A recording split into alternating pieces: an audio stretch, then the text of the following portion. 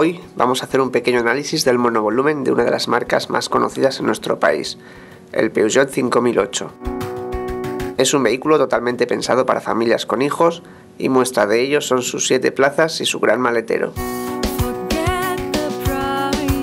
Las dos plazas traseras están escondidas, pero su montaje es muy simple.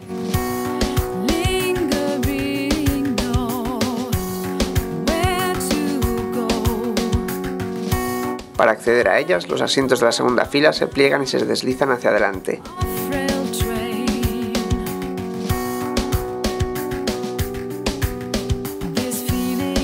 Los tres asientos de la segunda fila cuentan con Isofix, pudiendo llevar tres sillitas para tres niños. Los tres asientos pueden deslizarse adelante o atrás, de manera que las tres sillas no choquen entre sí. Sentados en uno de los laterales, observamos que cuentan con la típica mesita plegable y algo muy de agradecer, una salida de aire acondicionado que podemos regular a nuestro gusto. En el suelo de la segunda fila, bajo la alfombra, nos encontramos con dos de esos huecos que también van para guardar cositas, uno a cada lado. Algo que nos ha gustado mucho también son las cortinillas plegables de las puertas, que se suman a los cristales ya tintados.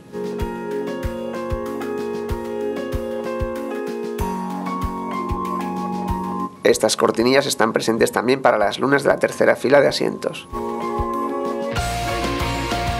Sentados en la tercera fila, observamos que está pensada para niños y adultos de baja estatura.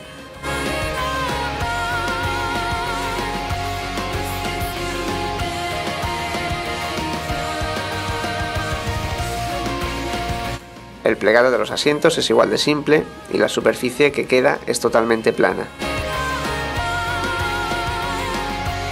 Como queda la vista el hueco de los pies, para quien quiera evitar que se cuelen cosas, queda la posibilidad de bajar unas superficies que harán que la superficie, valga la redundancia, hasta los asientos, sea plana. Sentados finalmente en el asiento del conductor, vemos que todos los mandos, incluido el cambio de marchas, están muy cerca. Incluso el freno de mano, que es eléctrico.